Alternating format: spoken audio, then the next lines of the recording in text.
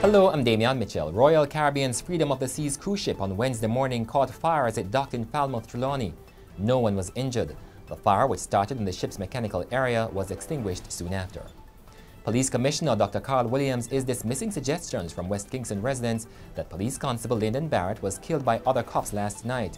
The policeman, who was attached to the Denham Town Police Station, was shot dead as he walked on Wellington Street.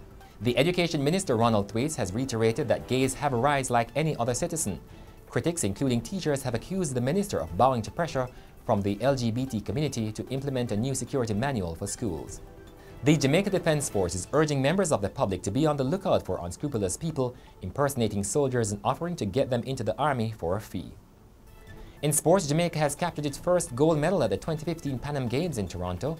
O'Dayne Richards made a winning throw in the men's shot put finals, setting a new national record of 21.69 meters.